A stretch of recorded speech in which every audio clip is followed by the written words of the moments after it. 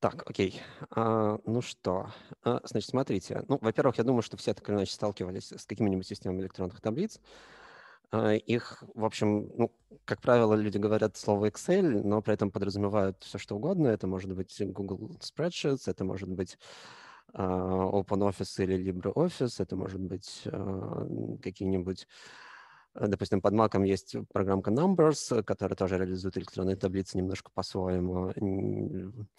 Есть разные другие менее известные утилиты. Вот. Я думаю, что я буду показывать сейчас э, все на примере Google, э, на примере Google Spreadsheets.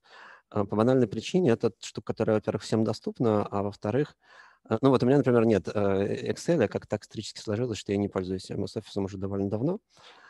Э, вот, ну давайте, давайте я что-нибудь такое э, покажу. Так.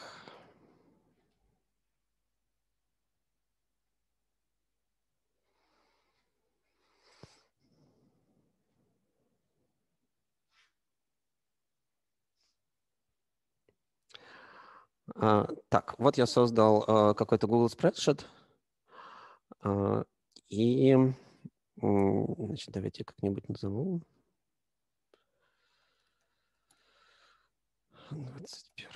21.04. А, значит, ну, во-первых, электронная таблица – это, в общем, штука, которая похожа на пандасовский датфрейм, но э, немножко отличается. В чем разница э, такая? Принципиальная. Ну, во-первых, э, в электронных таблицах, э, по крайней мере, вот в том, что реализовано, допустим, в Google Spreadsheets, нет никакого понятия, ну, как бы это вот такая вот плоская таблица, которая может быть заполнена данными как угодно. Здесь нет вот этого разделения на том, что у вас есть колонки, которые обязательно должны быть однородными, у которых есть имена и есть строчки, которые символизируют наблюдение. Тут, в общем, все может быть устроено как угодно. Вы можете сами решить, например, что у вас первая строчка является строчкой с именами, а, допустим, у нас есть какой-нибудь first name, last name, а, и есть какой-нибудь grade, а, и дальше заполнять эту таблицу как угодно. В некоторых ситуациях, в некоторых ситуациях у вас... Давайте я сделаю чуть покрупнее. Интересно, можно это здесь сделать? Средством браузера, наверное, можно зум сделать. Там еще есть 100% значочек. Да. Ага, да, я вижу. Ну, давайте я сделаю просто вот так все покрупнее. Вот. А, значит, э, э, как я уже сказал, э, тут не требуется, нет никакого представления о том, что столбцы должны иметь одинаковый тип. То есть я могу легко записать, например, а, сюда какое-нибудь другое слово, скажем. Я могу здесь написать average и вот здесь, например, посчитать эту, этот самый average. Да, это я уже показываю какие-то формулы, но про формулы я поговорю отдельно.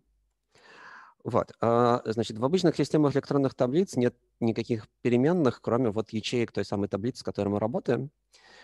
А, и а, это, с одной стороны, упрощает жизнь, с другой стороны, усложняет. Это упрощает жизнь, потому что вы сразу видите все значения всех переменных, они у вас как бы на экране, у вас нет никакого скрытого состояния. Какой бывает при программировании.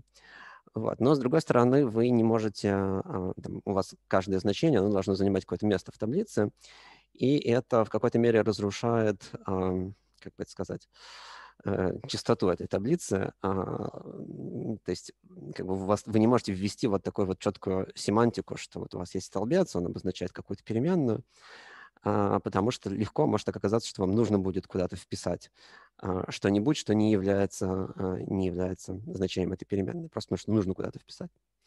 Вот. Я за это недолюбливаю систему электронных таблиц, но тут ничего не поделаешь, а, такая, такая логика. Вот, э, соответственно, довольно часто разные функции, которые, значит, разные инструменты в системе электронных таблиц все-таки могут, э, и можно объяснить, что у вас, вот, например, первая строчка – это на самом деле не просто какие-то э, буквки тут написаны, а что это именно название столбцов. Например, когда вы строите графики или когда вы вычисляете какие-нибудь, делаете какую-нибудь фильтрацию, что-нибудь в этом роде. Вот. Значит, есть система электронных таблиц, в котором название столбцов прописывается более-менее явно. Например, это вот как раз в маковском э, Numbers так сделано. Но вот здесь, например, такого нет. Значит, ну, давайте э, посмотрим на что-нибудь более веселое. А, да, значит, еще давайте я скажу пару слов по поводу типов данных. Значит, вообще, э, как языки программирования, электронные данные в системах электронных таблиц могут иметь разный тип. Но тут как-то этот тип, он э, такой гораздо менее... Ну вот в Python, понятно, вы создаете там переменную, присваиваете ей значение, число 4. Ну понятно, что это вот э, будет целое число. А, а тут, э, значит, фактически вы можете у вас в э, ячейке хранится какая-то информация, и вы можете на эту информацию смотреть э, как бы по-разному. Например, вот я набрал здесь число 4, да, я могу сказать, что давайте мы будем это число 4 воспринимать как, ну вот, отображать его не как число без десятичных знаков, а как число с десятичными знаками. Или, например, распространенная ситуация. Вот, кстати, смотрите, я сейчас написал 4.2.0, и он воспринимает это как число. Он показывает, что он воспринимает это как число тем, что он делает выравнивание по правому краю. Для строчки он делает выравнивание по левому краю. Ну вот как видно здесь. А, и Э, тут на самом деле может быть по-разному. Например, может оказаться, что вы сейчас на своем компьютере пишете 4.0, а он воспринимает это как строку, потому что в зависимости от настроек, в зависимости от типа э, программы, он может воспринимать либо точку, либо запятую в качестве десятичного разделителя. Опять же, тут нет такого строгого. Но вот в питании э, вы не можете сделать десятичным разделителем запятую ни при каких условиях. Э, вот.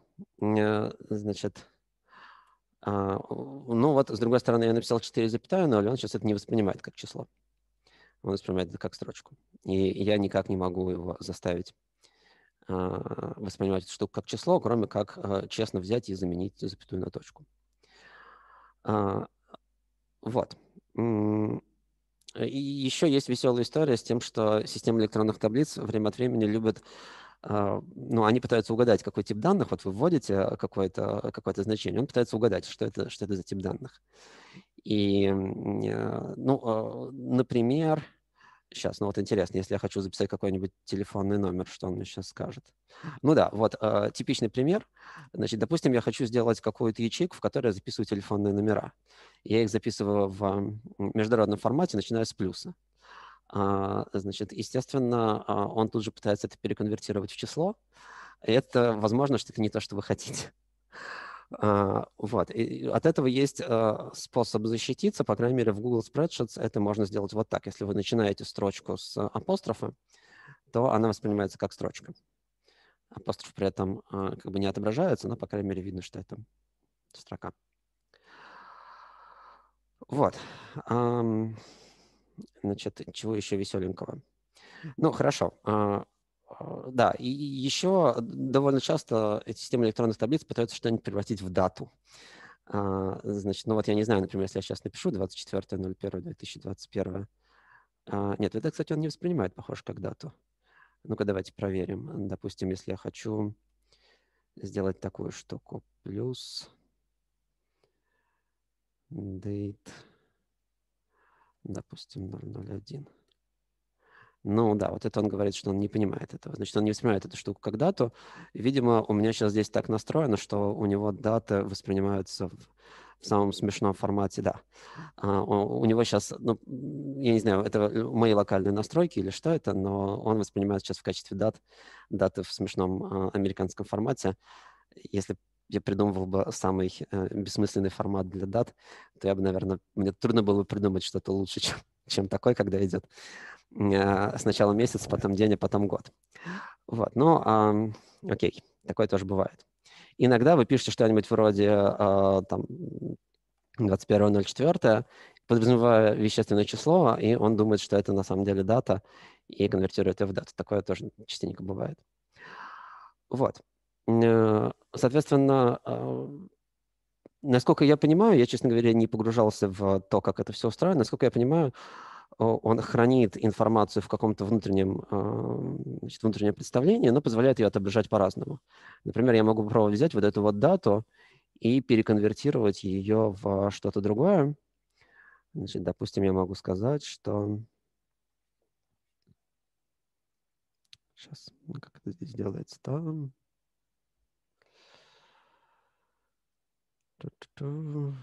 Формат number. Да, допустим, я могу взять и сказать, что это теперь число. Но вот что вот это за число 44 307, я не знаю. Но это, возможно, там количество дней, которые прошло с какого-то момента, еще что-нибудь в этом роде. Но мы можем теперь назад вернуть тип отображения даты и снова получить а, сегодняшний знаменательный день.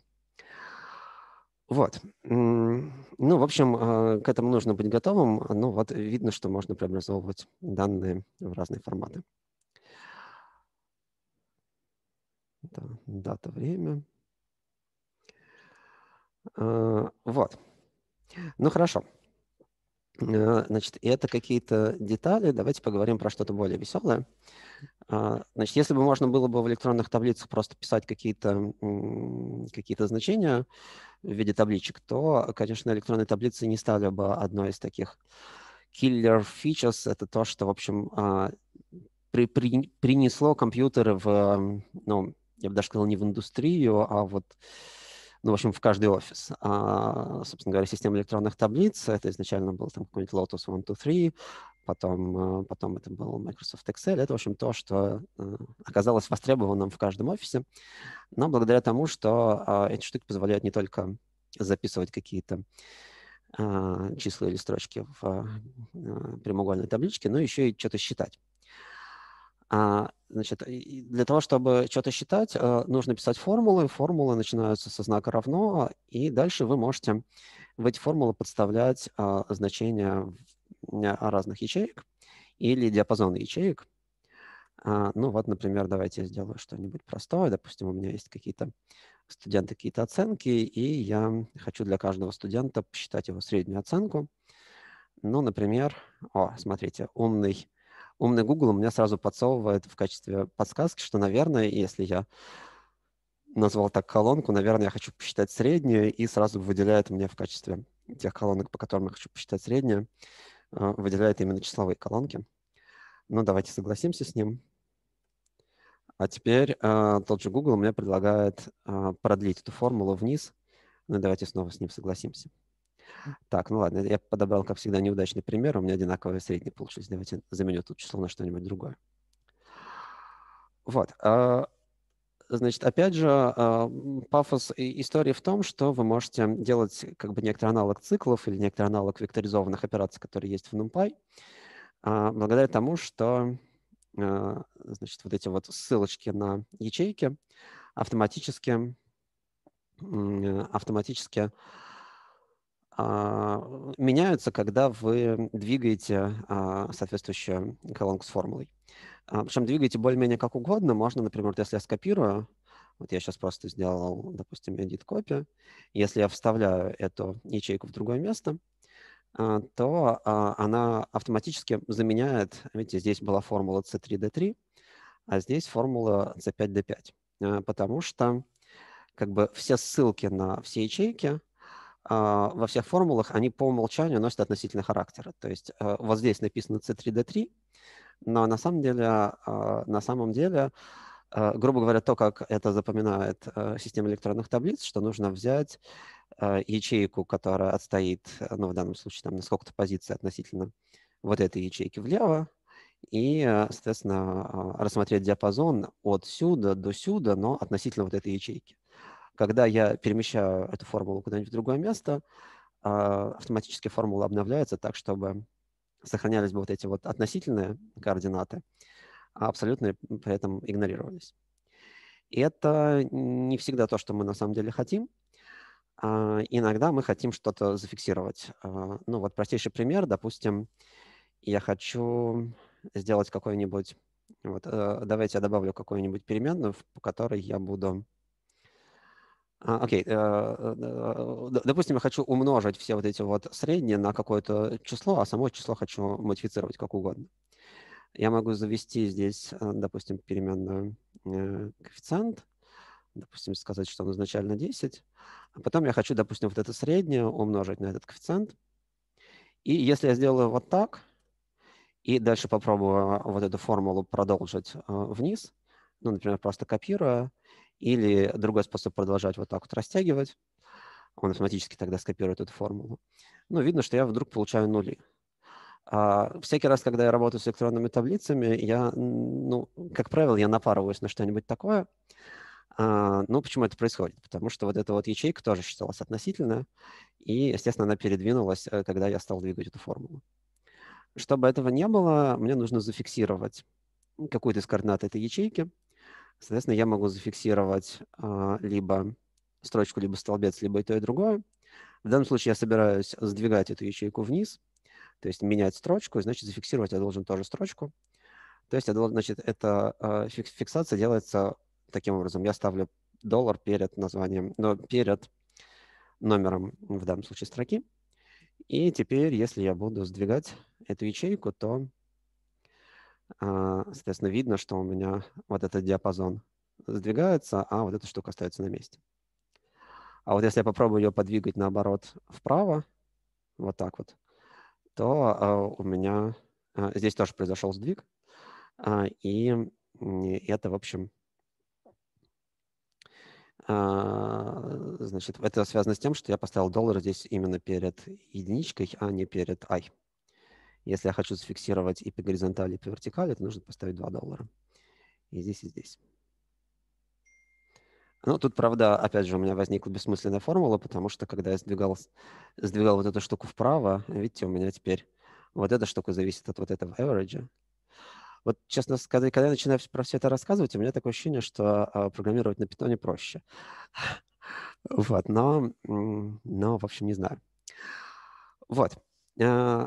Ну, а, окей, это, наверное, были какие-то базовые штуки. А, давайте поговорим про что-нибудь более интересное, если нет никаких вопросов пока что.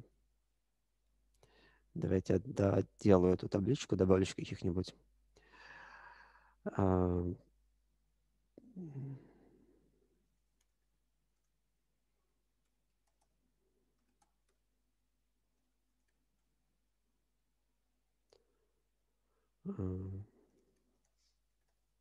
Каких-нибудь еще имен добавлю.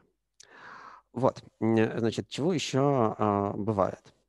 Ну, наверное, из таких а, важных, чуть более продвинутых вещей это некоторый аналог, а, значит, некоторый аналог джайнов. Допустим, что мне нужно, значит, вот у меня есть одна какая-нибудь табличка, и у меня есть какая-нибудь другая табличка, допустим, я создам другой лист, и тут у меня тоже будут а, какие-нибудь студенты, и, допустим, на этом другом листе я хочу сделать, ну, что-нибудь, а, что-нибудь вытащить на вот этот другой лист. Вот, допустим, что вот это вот, эта оценка за а, домашнее задание, а я хочу сделать некоторую сводную таблицу, а, в которую я хочу вынести а, там, средние оценки за разные типы форм контроля. Но, в частности, я хочу каждому студенту вынести вот свою оценку за а, значит, вот эту вот а, среднюю оценку за домашнее задание. Значит, как это можно сделать? Ну, во-первых, а, можно делать ссылки на другие листы. Значит, например, я могу... Ну, окей, допустим, что я даже не хочу копировать вот эту штуку, а хочу сделать просто, чтобы у меня вот в этой... Вот на этом листе totals...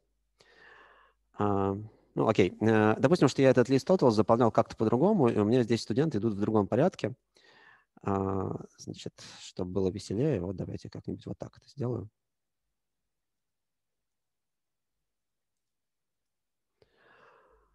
Значит, у меня студенты как-то перепутались.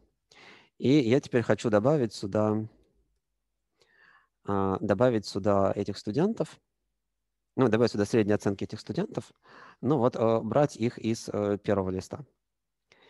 И делается это так. А, значит, есть разные способы это делать. Первый способ а, состоит в том, чтобы использовать функцию VLOOKUP. Значит, VLOOKUP – это такой а, местный аналог того, что мы проходили под названием джойнов. Значит, он позволяет найти в каком-то диапазоне, найти данные из, найти строчку, которая удовлетворяет определенному условию. И значение именно из этой строчки подставить вот туда, куда вы хотите. Значит, ну давайте я покажу, как это работает. Значит, вот я пишу VLOOKUP. Дальше мне нужно указать, э, что я ищу. Значит, в качестве того, что я ищу, должна выступать одна ячейка. Но в данном случае я, допустим, буду считать, что у меня у всех студентов зовут по-разному, у них разный first name. Это не всегда так, естественно, но, а, как правило, мы можем сделать какой-то уникальный ключ. А, при необходимости можно его скомпоновать из разных ячеек, но в любом случае они должны быть в одной ячейке. Значит, дальше мне нужно указать тот диапазон, а, из которого я забираю эти самые данные. Ну, в данном случае я возьму и скажу, что это мой диапазон вот такой вот. Значит, вот такая вот штука. Значит, видно здесь, что когда я этот диапазон выбираю, у меня в формуле э, возникает ссылка на этот диапазон, который устроена так. Сначала идет название листа, а потом идет уже ссылка на сам диапазон. Э, значит, а, как бы, ну, диапазон это какой-то обычно, это всегда такой прямоугольник, а, по камере вот такой вот э, простой диапазон. Значит, это прямоугольник, у которого написан, соответственно, левый верхний угол и правый нижний угол. А, и дальше, значит, это тот диапазон, внутри которого я ищу. И дальше у меня есть э, следующий аргумент. Это номер столбца, из которого я должен вытаскивать данные. Uh, и вот тут вот uh, одна из моих нелюбимых вещей, uh, она состоит в том, что мне нужно каждый раз вспоминать, ну, как бы каждый раз считать, под каким номером у меня вот в этом диапазоне идет, например, вот этот столбец. Ну вот когда столбцов 5, это легко сделать. А когда столбцов гораздо больше, это сделать немножко сложнее. Интересно, почему 25? Ну ладно, сейчас разберемся. А, понятно, почему 25, потому что там Клауди идет первый. А, и а, последний аргумент. Здесь мне нужно, значит, по умолчанию эта штука предполагает, что у меня вот, это, вот эта вот штука отсортирована. А, ему нужно сказать, что это не так, потому что иначе он а, будет использовать другой алгоритм поиска совпадений и будет выдавать неправильные ответы. Значит, вот такая формула получается. Ну и вот видно, что он действительно подставил, а, значит, подставил вот сюда оценку для Клаудия. Вот она у нас Клаудия. Он нашел эту строчку. То есть, значит, давайте еще раз, как эта штука работает. Он находит вот в этом диапазоне, то есть вот в этом диапазоне, он находит строчку, у которой первый столбец совпадает, значение первого столбца совпадает с, вот, э, с тем значением, которое вот здесь написано вот в этой переменной. Вот. И из этой строчки подставляет значение вот этого столбца. Значит, столбец здесь просто указан его номер. Вот. Ну, давайте посмотрим. Да, вопрос на засыпку. Что будет, если я теперь буду э, растягивать вот этот, э, значит, вот эту формулу растягивать вот так вот вниз, копировать соответствующее значение вниз? Буду ли я получать правильные результаты? Да, вот это, опять же, типичная ошибка, которую я постоянно делаю. Ну вот видно, что у меня в какой-то момент вдруг, вдруг откуда-то взялся NA. А, почему этот NA взялся? Ну, потому что я забыл закрепить а, вот этот диапазон. И поэтому у меня каждый раз поиск происходит в диапазоне, который тоже сдвигается вниз. И в результате, в конечном итоге, я дошел до диапазона вот такого. И это, в общем, совсем не там, где я хотел э, что-то найти. А, вот, поэтому мне нужно не забыть здесь что-то закрепить. Значит, я буду менять сейчас строчку. Значит, мне нужно закрепить вот такие штуки.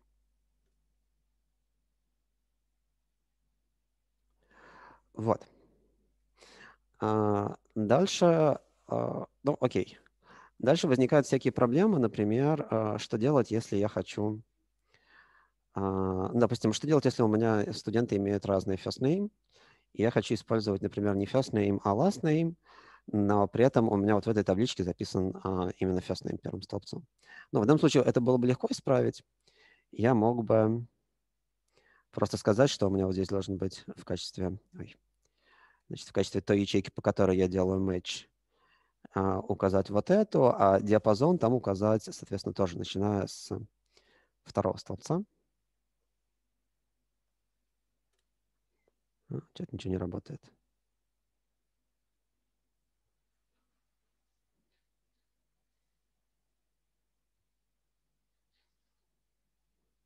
Почему не работает?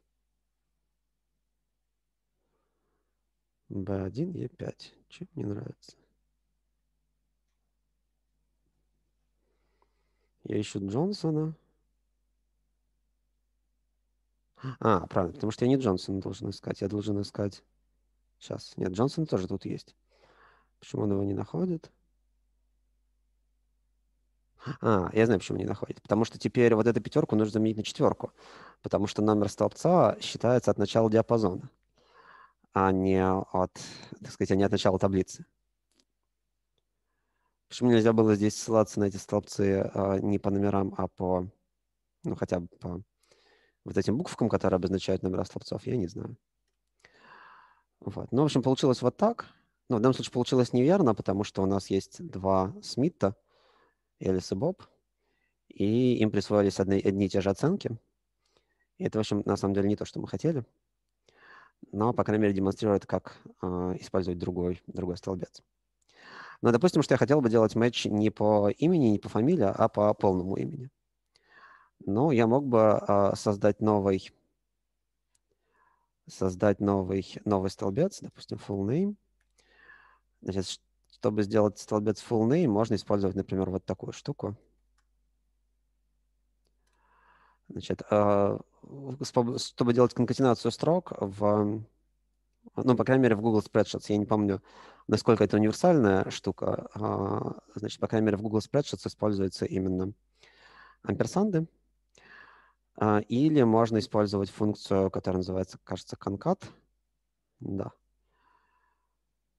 но это будет не очень приятно, потому что мне нужно будет написать как-то так. Конкат от вот такой штуки, а потом я хочу, допустим, сейчас я хочу к этому приконкатинировать вот это.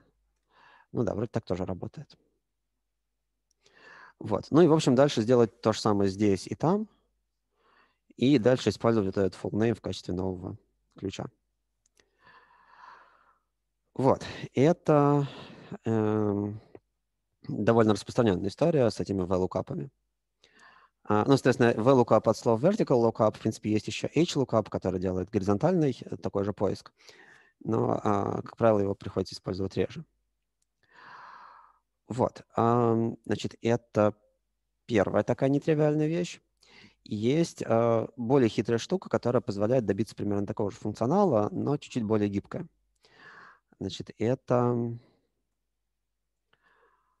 а, значит, это есть две функции. Одна функция, которая называется индекс.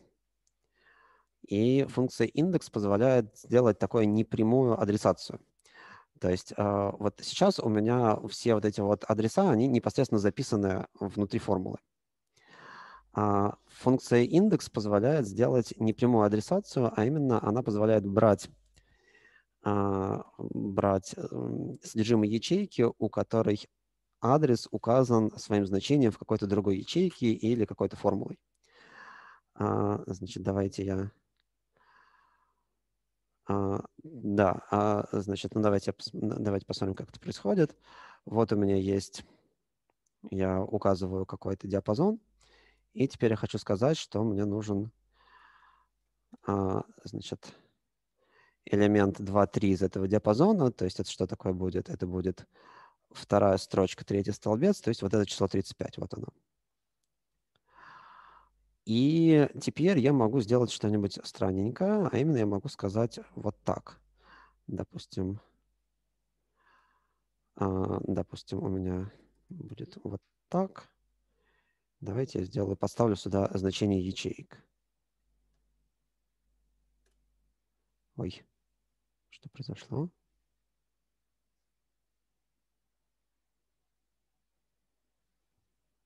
А, понятно, что произошло. У меня сейчас нет здесь никаких значений, поэтому он мне выдал всю таблицу, весь диапазон. Вот. Ну вот теперь я могу менять здесь значения и, соответственно, получать, э, ну, как бы получать разные ссылки на разные элементы отсюда. Э, почему это может быть полезно? Ну, на самом деле функция, вот эта функция индекс может быть полезна не сама по себе, а она может быть полезна с другой функцией, которая позволяет найти в некотором диапазоне, найти значение, которое будет э, удовлетворять каким-то условиям. А, чтоб я помнил бы, да. Значит, эта функция match, А, и, например,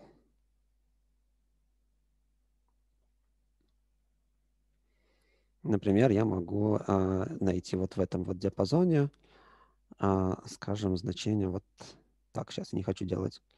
Допустим, я могу найти Клаудио в этом диапазоне. Нет, так не работает. А, потому что наоборот.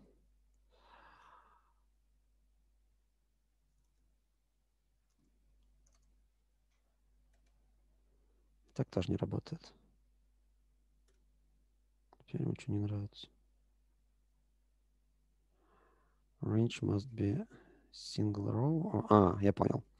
А, значит, и нужно сделать вот так. B2, B5. Значит, а, match позволяет найти номер а, элемента, который а, равен чему-то конкретному, в каком-то конкретном, а, значит, в какой-то конкретной строчке или столбце. Ну, то есть в диапазоне, который состоит из строчки или столбца. Вот. А, ну, соответственно, дальше можно а, сделать аналог VLOOKUP таким образом.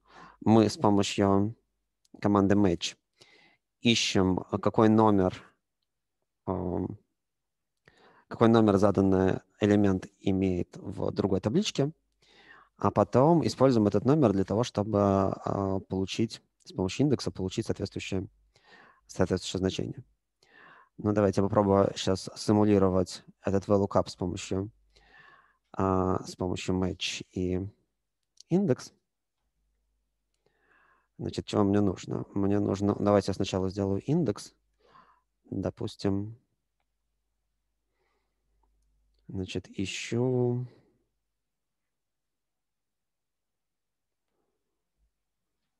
вот в этом вот списочке еще имя, которое мне нужно.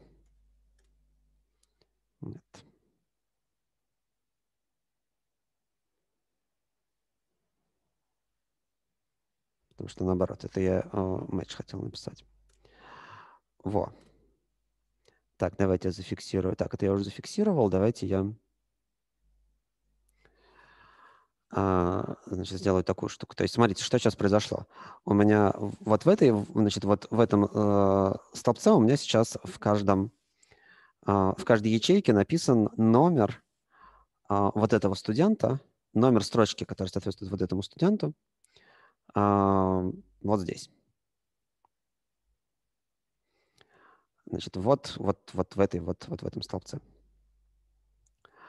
А, и теперь а, что мне сделать, чтобы выдать, например, вот эту вот среднюю, среднюю оценку? Значит, теперь я могу честно написать, что мне нужно от вот этого, значит, вот этот матч использовать в качестве какого там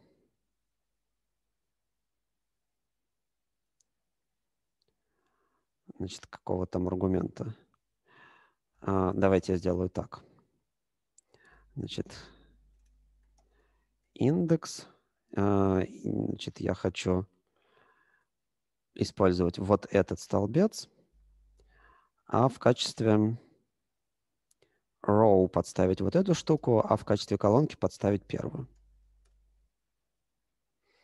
Ну и вот получилось то же самое. Нет, не получилось. Опять забыл закрепить. Теперь получилось. А, понятно ли, как вот эта вот комбинация двух функций работает? Это уже, наверное, чуть менее тривиально, чем то, что мы обсуждали раньше.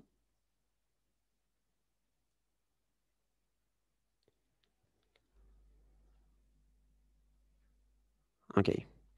А, давайте я запишу это в виде одной формулы. На самом деле совершенно не обязательно было выносить это в, отдельную, э, в отдельный столбец.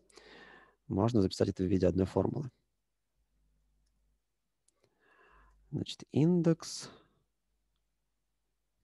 А сюда вписать вот эту формулу для match. Сейчас. Как-то сложно.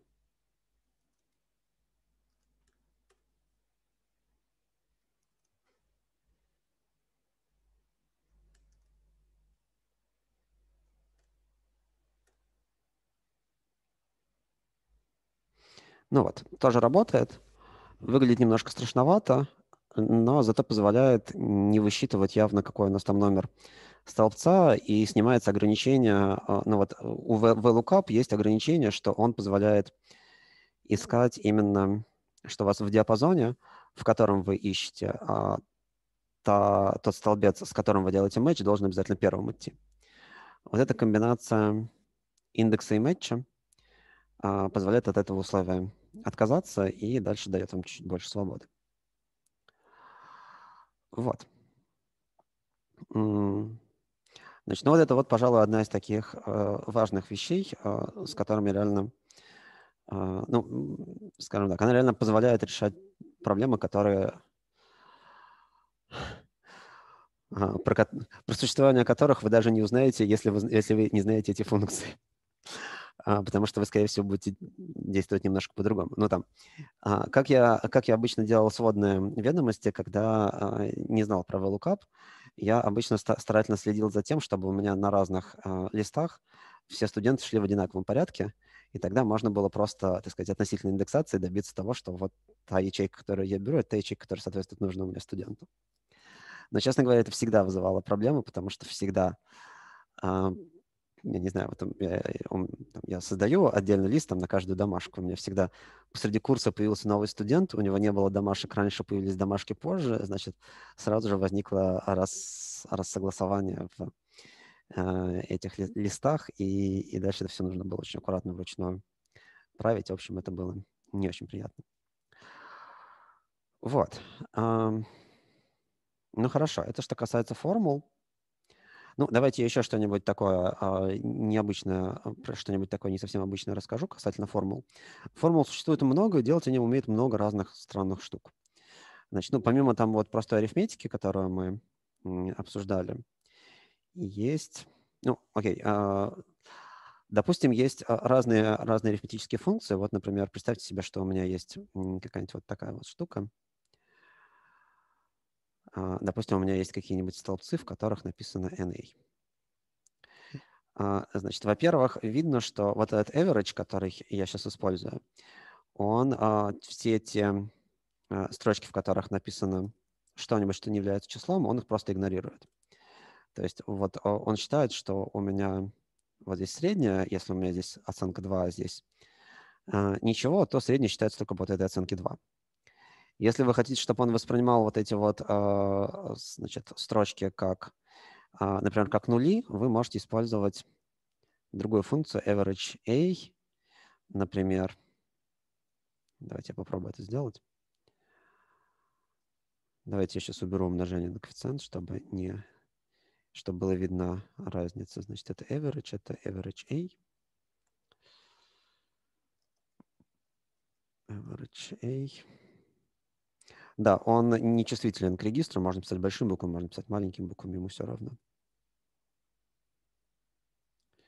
Вот. Ну вот теперь видно, что он вот этот NA воспринимает как ноль. Значит, вот этот average A. Да, а, значит, нет никакого понятия, насколько я знаю, нет никакого понятия, а, никакого встроенного а, нано, никакого встроенного понятия миссинга в э, электронных таблицах. А, вот. Э, но, а, с другой стороны, видите, есть функции, которые воспринимают строчки как миссинги, а есть функции, которые воспринимают строчки как нули. Кстати, не знаю, можно этому average a что-то подставить такое, чтобы он... Нет, видимо, нельзя. видимо, по умолчанию всегда ее будет нулем считать. Даже никак его не перепрограммируешь в этом месте. Вот. Но а, чего еще бывает? Ну, бывают всякие штуки, которые похожи на программирование. Вот, например, скажем, допустим, я хочу посмотреть на тех студентов, которые имеют среднюю оценку, скажем, больше трех. А, значит, я могу сделать что-нибудь в таком роде. If, допустим, average больше трех, написать что-нибудь, а иначе написать что-нибудь другое.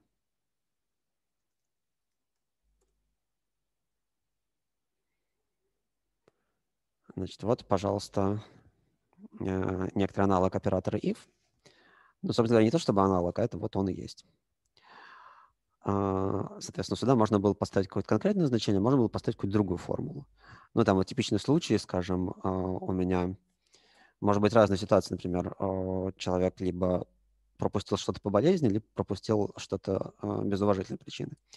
Вот, соответственно, я могу с помощью, я могу, например, завести какой-нибудь столбец. Ой, господи, боже мой, вот тут уже дальше нужно придумывать дизайн. Например, у меня есть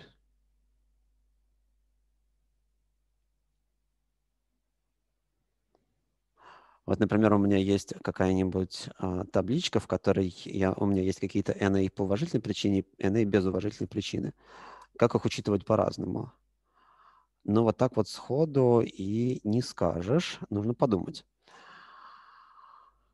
А, есть всякие, например, вот такие штуки. Вот, например, есть такая штука, которая позволяет, а, например, посчитать среднее из нескольких значений – но только при выполнении некоторых условий. А, условия... Так, сейчас. У меня, а, у меня сначала есть... Во, смотрите. Ох, сейчас что-нибудь странненькое сделаю. Давайте представим себе, что у меня есть две такие таблички. Это похоже на какую задачу, которая была про Pandas. Вот у меня есть оценки, а теперь у меня есть другая таблица, где у меня написано... Давайте это я сейчас пока все посношу. А, значит, вот допустим, что у меня здесь есть просто оценки, как они есть. Да? И есть какая-нибудь другая таблица. А давайте я здесь же это сделаю. Вот так на самом деле лучше не делать, но я для, э, для того, чтобы было более визуально сделать на одном листе. Значит, допустим, у меня здесь есть э, информация по поводу того, почему человек пропустил ту или иную контрольную. И, допустим, у меня есть... Допустим, это просто табличка, в которой написано уважительная причина или неуважительная. А, значит, good excuse или bad excuse. Так, сейчас. Только сюда писать бессмысленно. Давайте я вот сюда буду писать. Значит, там, где у меня здесь были нули. Допустим, что-нибудь в таком роде. И теперь я могу сделать уже что-то что, -то, более странненькое. Например, а, не знаю, что сейчас получится. Значит, допустим, я буду использовать average if.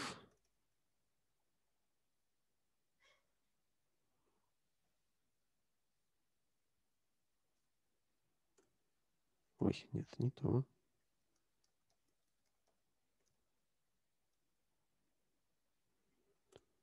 Значит, допустим, я скажу, что я беру вот этот диапазон, и если...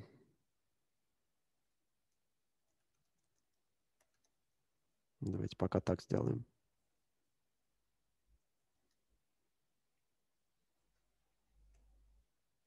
Нет. Почему мне нравится? Деление на ноль. А, понятно, почему мне нравится.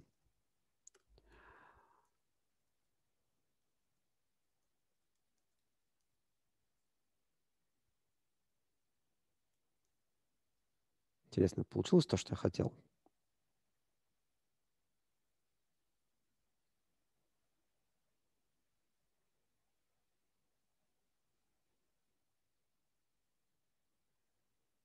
Ну, почти. С точностью до наоборот.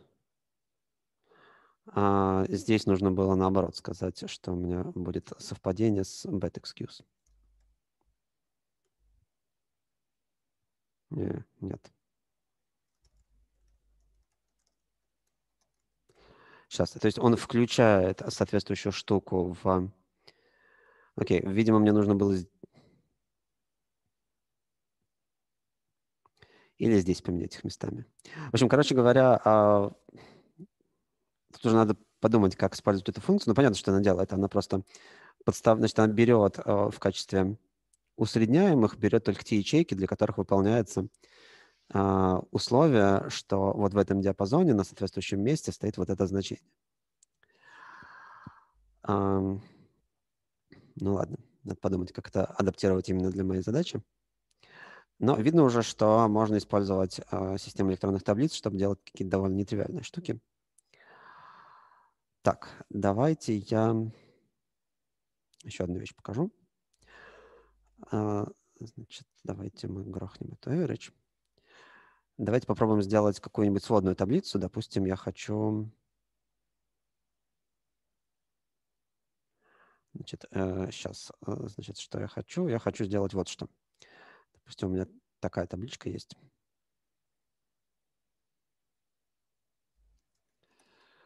Значит, student, допустим, course grade. Значит, мы такое делали, опять же, в Pandas. Давайте посмотрим, как с похожей задачкой справится обычный Google Spreadsheets.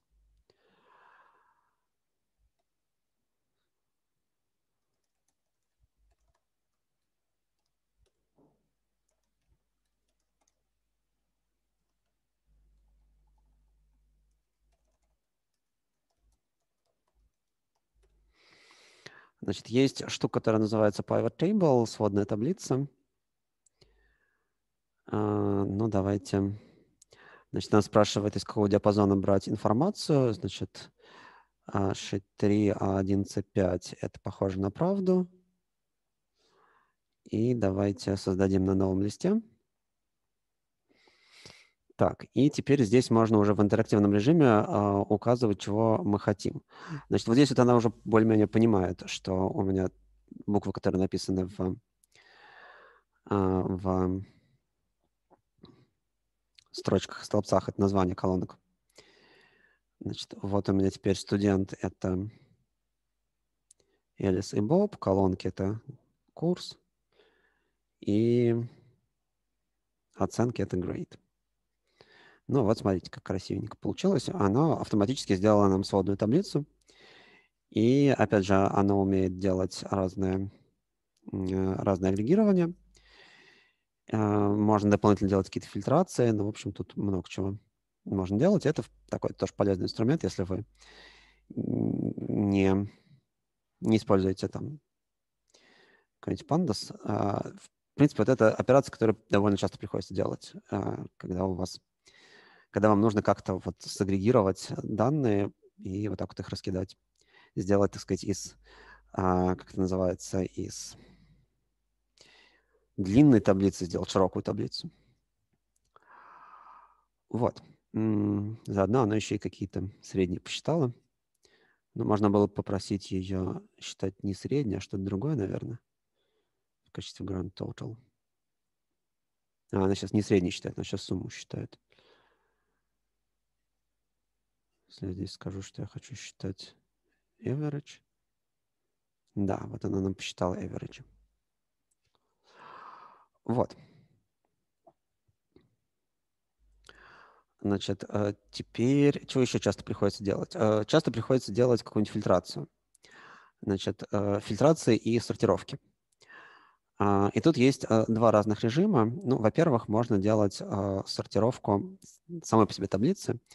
Значит, если я сделаю дата, а,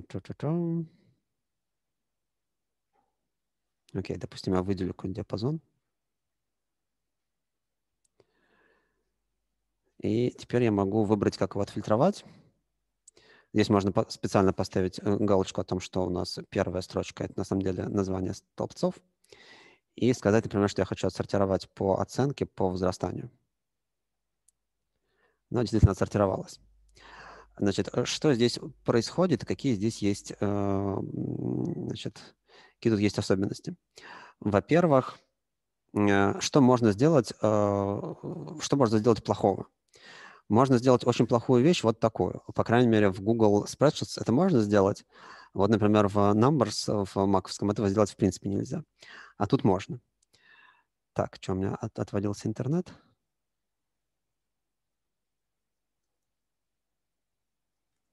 Не, вроде восстановился. А, значит, смотрите, можно сделать... Вот, я выделил диапазон, но я выделил диапазон не весь, а кусочек.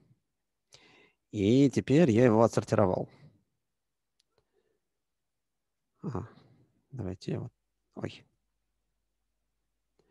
Вот такой вот диапазон я отсортирую.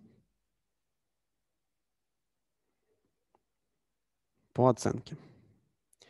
И вот в этот момент происходит катастрофа, потому что а, таблица перестает иметь хоть какой бы то ни было физический смысл, потому что я а, как бы потерял взаимосвязь между строчками, точнее, между столбцами в разных строчках. А, вот. Я помню, что был какой-то скандал, когда из-за какой-то похожей ошибки в таблице э, какая-то статья в каком-то известном экономическом журнале, значит, выяснилось, что там написана ерунда, просто потому что... Нет, там, кажется, была другая проблема. Там, кажется, была не такая сортировка, там было... Там они, по-моему, не дотянули какую-то формулу до конца, и формула... Ну вот, э, было что-то типа такого, что была формула, которая считала вот что-то в таком роде. Они ее не, не дотянули до конца, в результате у них пол таблицы оказалось не включено в те подсчеты, которые должны были быть. Ну, реально, потому что вот тут легко сделать такую ошибку, потому что вот когда вы смотрите на таблицу вот так, вы не знаете, докуда вот эта вот формула идет. А, вот. Ну, в общем, короче говоря, тут можно сделать какие-то неприятные вещи. Общее правило состоит в том, что никогда не сортируйте а, таблицу по кусочкам, а всегда сортируйте ее, ну, вот так, чтобы у вас в диапазоне строки были бы а, включены целиком. А, в этом случае вы, по крайней мере, гарантируется, что вы а, не насортируете что-нибудь очень странного. А, вот. А, значит, и это а, сортировка, которая меняет таблицу. Но иногда вам нужно не поменять таблицу, как она есть, а просто на нее посмотреть в отсортированном виде. И в Google Spreadsheets есть на эту тему специальная штука, которая называется, которая называется Filter View. Значит, фильтр View позволяет создать как бы такую временную таблицу, точнее, временный способ смотреть на таблицу. А, и у него есть два, значит, две штуки. Первая штука, он умеет а, делать... Так, а как, собственно говоря, это включить? Filter View Option Update Range.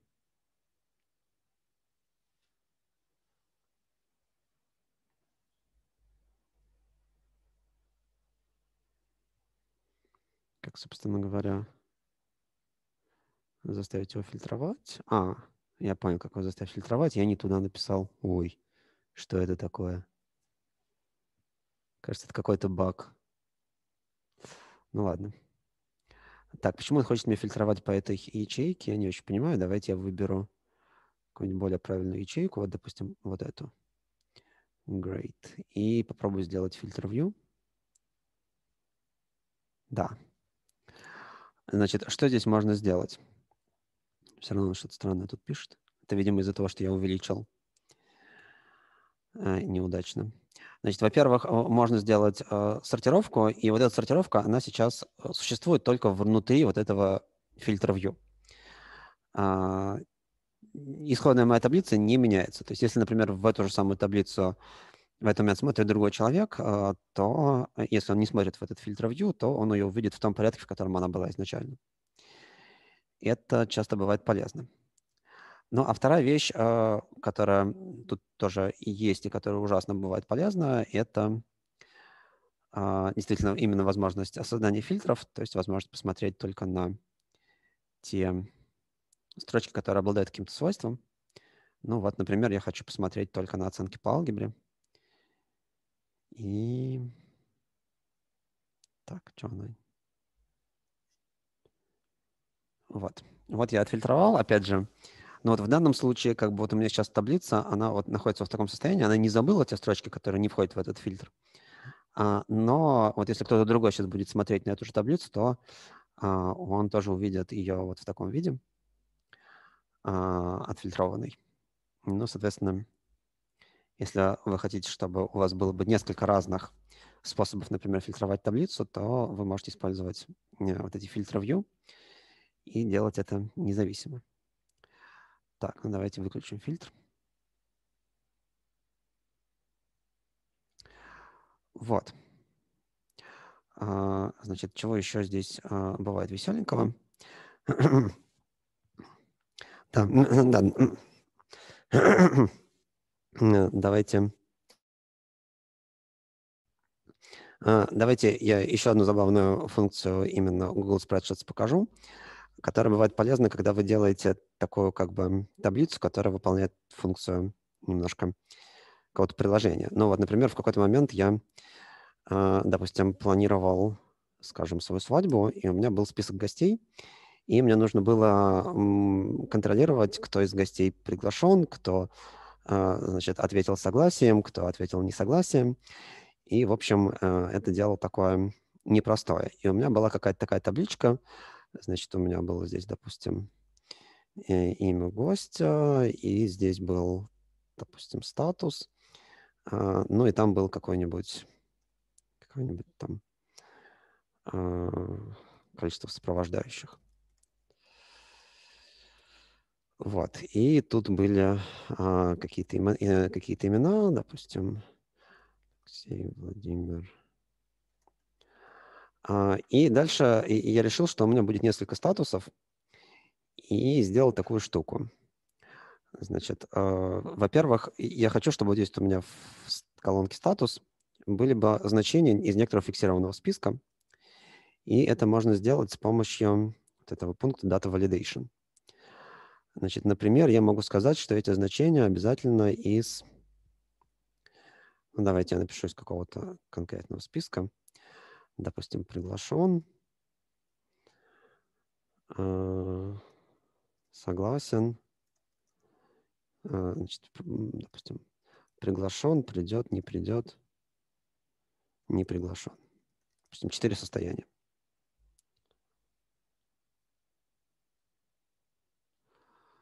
И а, после этого, поскольку у меня фиксированное количество разных вариантов, а, то у меня теперь я могу их выбирать просто вот так вот. Так, допустим. Вы можете теперь я могу, например, посчитать. А, теперь я могу, например, посчитать, сколько у меня приглашено. Или сколько у меня придет. Значит, count if.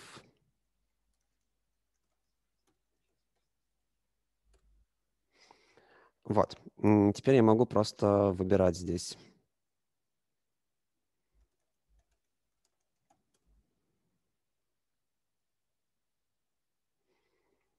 Значит, выбирать здесь статус, и э, автоматически подсчитывается, сколько у меня народу ждать. Дальше можно, чтобы это было все совсем симпатичненько, можно еще использовать э, еще, один, еще одну штуку, которая называется формат, conditional formatting. И это штука, которая позволяет разукрасить э, ячейки в разные цвета, э, или, ну, чаще всего я ее использую, чтобы именно разукрасить, э, в зависимости от того, что в этих ячейках написано ну как, чаще всего я, опять же, работаю с какими-то ведомостями, и я разукрашиваю, разукрашиваю оценки, а, там, типа, удовлетворительно, неудовлетворительно, соответственно, удовлетворительно она мне рисует там, желтеньким, там, отлично рисует зелененьким, а неудовлетворительно красненьким. Но здесь можно было бы сделать что-нибудь, например, а, текст придет, например, а, раскрасить зелененьким, и, допустим, текст не придет, закрасить красненьким.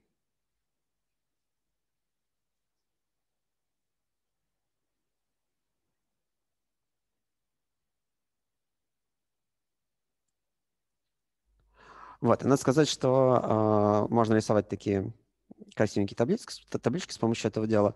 Надо сказать, что в Pandas тоже это можно делать. Э, там есть возможность выбирать стили в зависимости от в зависимости от того, что там написано, в зависимости от значений. Так что, но вот такого вот а, простого в использовании как бы практически а, приложения сделать уже немножко посложнее. Вот. Значит, чего еще вам такого веселенького показать? Значит, вот еще типичная задачка. Допустим, у вас есть какие-нибудь а, в обратную сторону. У вас есть какая-нибудь какие-нибудь строчки, в которых написаны полные имена, а вам нужно их разбить отдельно на имя, на фамилию. Что-нибудь в таком роде.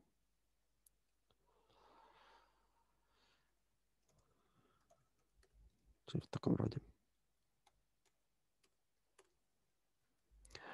И это можно сделать. Например, здесь есть встроенная функция Честно говоря, долгое время не знал, просто что такая функция есть, но она есть. Вот, split text columns.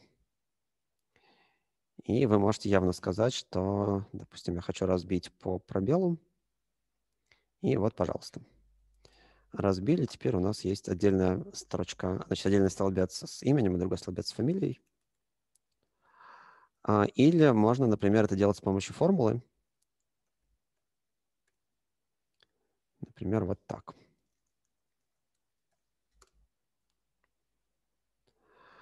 Формулы, на самом деле, умеют записывать не только в тот столбец, в, который, в котором они написаны, они умеют записывать и в какие-то соседние столбцы или в соседние строчки. Поэтому, например, бывает такая формула split, функция split, которая позволяет разбить строчку на две строчки в зависимости от значения, ну, там, зависит по данному разделителю. Вообще есть разные способы работать со строчками, есть разные строковые функции, например, а, что там, кроме конкатенации? Сейчас, допустим, если я хочу... Нет, как... Так она как называется. Ладно, забыл. Давайте я сделаю вот что. А, помните, я про регулярное выражение недавно рассказывал? Значит, например, я могу с помощью регулярного выражения вытащить, вот, допустим, из этого текста, вытащить, скажем, первую, допустим,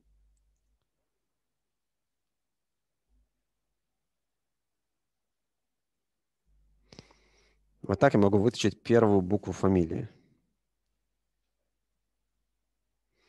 Значит, я написал здесь регулярное выражение, которое говорит, что оно должно начинаться с пробела, а потом должен идти произвольный, э, произвольный э, символ, который является частью слова. А, и, соответственно, у меня сейчас а, здесь написано, но на самом деле тут некоторая хитрость. Как вы думаете, что написано вот в этой ячейке?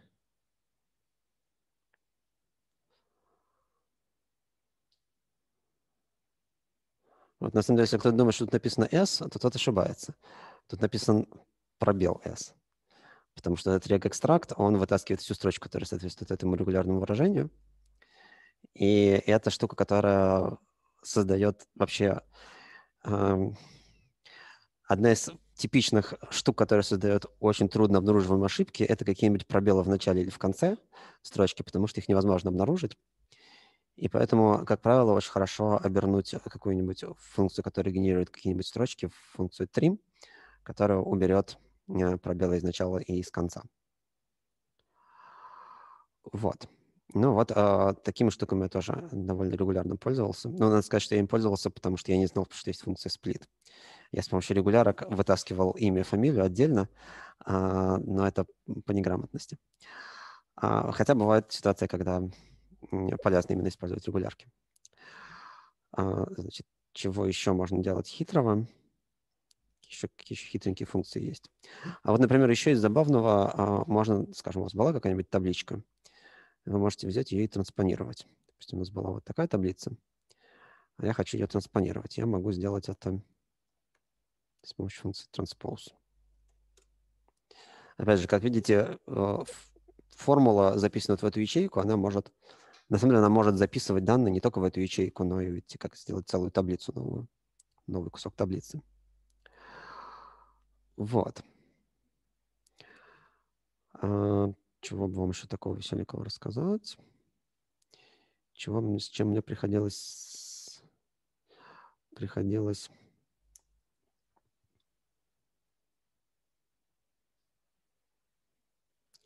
приходилось сталкиваться. Ну-ка, кто такой слайсер? О, это какая-то продвинутая штука. Выберите колонки.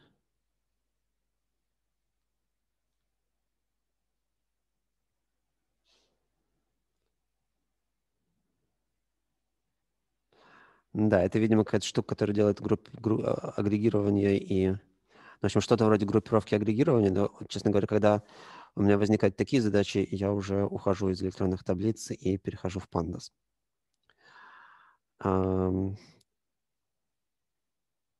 Так что тут я не знаю, как эта штука работает.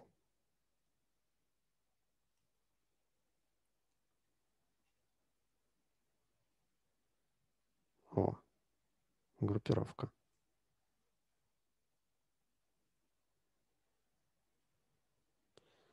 Как теперь эту штуку убрать отсюда? Я,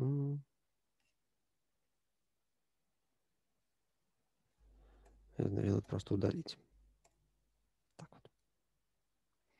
Ну-ка, давайте попробуем сделать какую-нибудь группировку.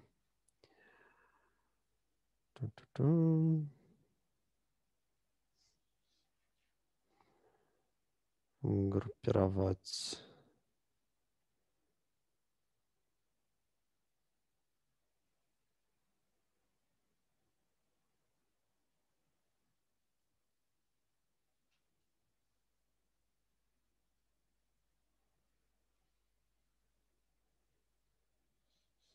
Так, это, видимо, результат э, неудачной группировки. А вот сейчас мы сделаем какую-нибудь удачную группировку. Допустим, я хочу все сгруппировать по фамилии.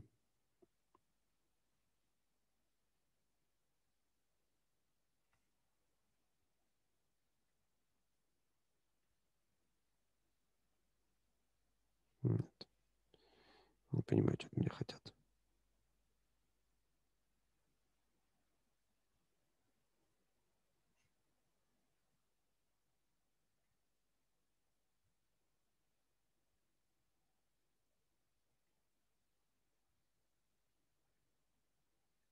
М, Нет, не знаю, что это, что эта штука, как эта штука должна работать.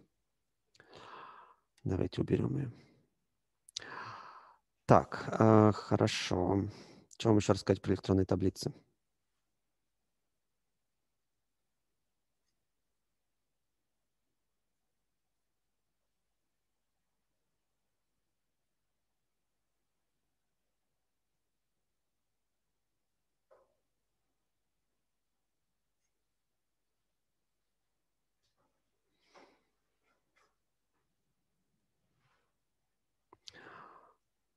Ну ладно, давайте какие-нибудь, картинки построим, хотя я думаю, что это как раз относительно простая история. Правда, всякий раз, когда мне нужно строить картинки в чем-нибудь такого типа, я всегда страдаю, потому что мне кажется, что а, у меня недостаточно возможностей. Но давайте попробуем что-нибудь построить.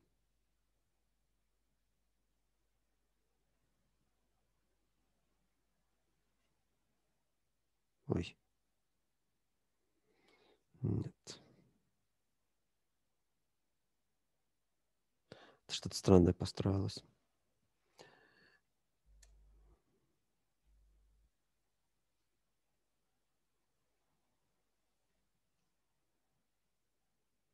Да, ну, кстати, первая же попытка что-то построить, построила что-то разумное. А, Или нет, потому что он пытается, а, пытается учесть, пытается учесть а, last name в качестве какой-то из переменных, который он хочет отобразить. М, Да, видимо, так лучше. Да. Ну, кстати, не такие уж и плохие картинки. Интересно, можно ли здесь сейчас построить гистограмму? Долгое время была большая проблема с тем, чтобы построить в чтобы построить систему электронных таблиц, обычную гистограмму. Мне приходилось это делать с помощью функции frequency. Интересно, решена ли, ли эта проблема сейчас? Допустим, у меня есть куча чисел.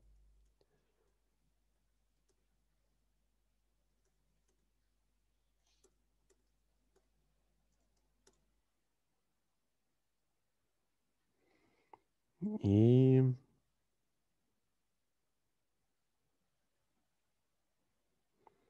я хочу построить от, от этой кучи чисел гистограмму. Могу я такую штуку сделать? В Excel точно уже можно строить гистограммы.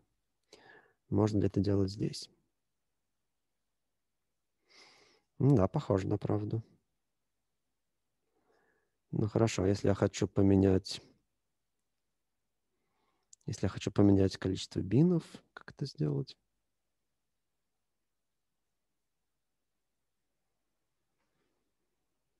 А, во.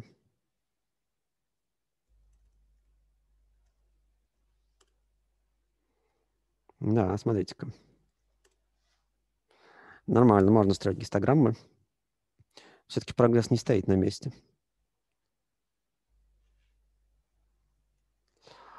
Вот. В общем, на самом деле много, много чего можно сделать с помощью электронных таблиц, но в чем преимущество, с моей точки зрения, в чем преимущество работы именно там, а, в питоне или в чем угодно еще, в, ну, таком более программистском, то, что вы а, получаете, ну, не просто табличку, а вы получаете некоторый алгоритм, который как бы, принимает на вход табличку, выдает то, что вам нужно. И дальше, если у вас что-то поменялось в таблице, то у вас э, алгоритм будет автоматически корректно работать с новой табличкой, вам не придется там, допустим, вручную при поступлении новых данных протягивать какие-нибудь ячейки, чтобы, чтобы формулы у них обновились.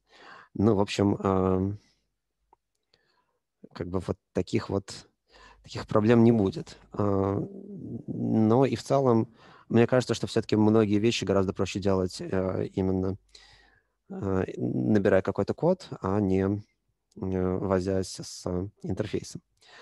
Вот. Ну, тут кому как удобнее. Я знаю, что в индустрии Excel — это как бы один из основных инструментов, с которым приходится иметь дело. А, по крайней мере, э, в том, с чем вам, вам может, быть, может быть предстоит столкнуться. Вот.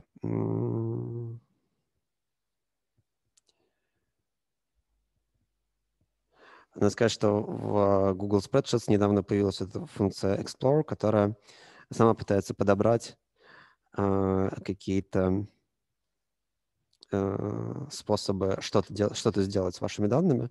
Как бы она пытается проанализировать их структуру и автоматически, во-первых, подсовывать вам какие-то вопросы, которые вас могут заинтересовать.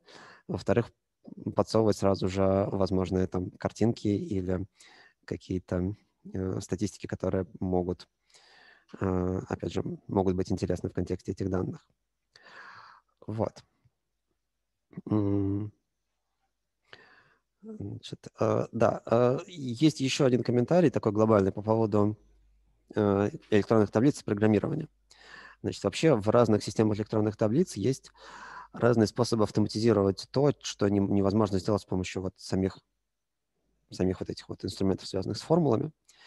А, там под там, Microsoft Excel есть язык программирования, который называется VBA, Visual Basic for Applications.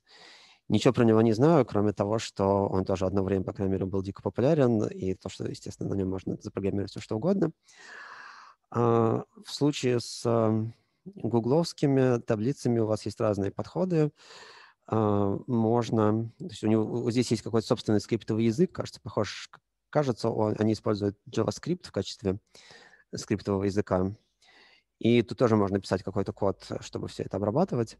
Тоже про это ничего не знаю. Кажется, один раз в жизни я писал какой-то код для Google Spreadsheets. Уже даже не помню про что, я не помню на каком языке и вообще, а, значит, что я при этом делал. А, э, значит, и Э, да, соответственно, можно писать макросы на, допустим, Visual Basic for Applications. Это какой-то код, который будет uh, что-то делать, как-то обрабатывать ячейки вашей таблицы. Но это уже полноценный язык программирования. Там можно создавать переменные uh, и, значит, все что угодно делать, циклы, все, что хотите. Вот. И другой подход состоит в том, что вы можете использовать, допустим, обычный uh, в связке с чем-нибудь. А, ну, там типичный для меня сейчас workflow это такой. И я использую Python. А, Python подключается к какому-нибудь Google Spreadsheet. У, у Google, у всех этих Google Docs есть api с помощью которых можно писать приложения, которые будут, соответственно, взаимодействовать с вашими табличками. И э, типичная ситуация такая, что вот у меня есть какая-нибудь табличка, в которой я данные как-то собираю, и дальше я пишу питоновский скрипт, который забирает у меня данные из этой таблички, что-то с ними делает, а, и дальше он может, например, выдавать, дан... выдавать какие-то преобразованные данные в ту же табличку, записывать в другое место или еще чего-то. Вот. Э, все что угодно. У, значит, через API можно делать все, что, все, что, все, что хотите, более-менее. А, вот. И э, единственное, э, единственный недостаток сейчас этого подхода э, состоит в том, что для того, чтобы сделать приложение, которое может получать доступ к этому API, приходится, ну там, я сейчас покажу инструкцию. Значит, есть, а, собственно говоря, есть библиотечка, которая называется GSpread. Это как раз библиотека для работы с гугловским, а, с гугловским API. И значит, ну вот, собственно говоря, здесь видно, чего, значит, какие-то простые штуки, которые он умеет делать. Например, обновить и, значит, значение в такой-то ячейке или а, отформатировать э, значение в такой-то ячейке или еще что-нибудь в этом роде. Вот. Но самое сложное – это а, значит, и это получить доступ. То есть вам нужно сделать вот что. Вам нужно получить специальный сервисный аккаунт. Ну, окей, есть разные способы, как можно дать вашему приложению доступ к вашим табличкам. А, ну вот, а, например, инструкция инструкция про получение сервисного аккаунта выглядит как-то вот так вот. Э, и это, кажется, еще не самая короткая инструкция. Здесь 8 пунктов. А, и это не, то, чтобы это было сложно, но это нужно куда-то зайти, куда-то кликнуть, куда-то еще кликнуть, куда-то еще кликнуть и так далее. Вот. Но когда вы э, этот доступ получаете, то дальше вы можете, например, сделать следующее. Вы можете просто расшаривать ваши гугловские таблички, а, на специальный э, сервисный аккаунт, то есть у него там будет какой-то e-mail, но это e-mail на самом деле не живого человека, а бота. А, и, соответственно, вы дальше можете а, с помощью вашего скрипта получать туда доступ. Если хотите, могу как-нибудь показать, как это делается. Вот. Но это такая немножко занудное, занудное мероприятие, когда реально нужно кликнуть примерно 10 раз по разным кусочкам интерфейса этого самого Google Developer Console. Вот. Но, в принципе, это бывает очень полезно, а, потому что вы так объединяете, с одной стороны, визуальные инструменты Google Spreadsheet или, например, ну вот типичная ситуация, если мне нужно собирать какие-то данные от людей, и я прошу людей заполнить какую-нибудь формочку, а потом я хочу эту формочку обрабатывать уже с помощью скрипта, и я хочу, чтобы у меня скрипт, опять же, автоматически работал бы в самой последней версии данных. Или другой пример, наоборот, у меня есть скрипт, который время от времени ну вот, э, скажем, я значит, по просьбе коллег я в прошлом году сделал такую штуку. А, значит, у меня был скрипт, который скрепил некоторый сайт, который аккумулирует информацию про того, сколько человек подали документы на какие программы, и я ее скрепил и агрегировал, и коллеги хотели, чтобы результат отображался в виде какой-то таблички, с которой они уже смогут работать. Вот.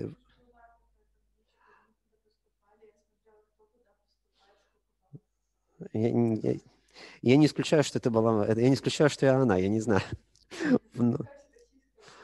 Ну, да-да-да-да, что-то такое я делал. Я возможно, что вы ее видели, я не знаю. То есть, как бы я расшарил коллегам, а дальше что они с ней делали, я не знаю. Вот. А, может быть, кто-то другой сделал то же самое. А, вот. Ну, то есть, вообще, в принципе, можно а, с помощью вот таких скриптов и Google Spreadsheet реализовывать какие-то приложения с довольно сложной логикой. Но, правда, когда логика становится слишком сложной, я, и, в общем, становится, становится сложно со всем этим работать уже как пользователю.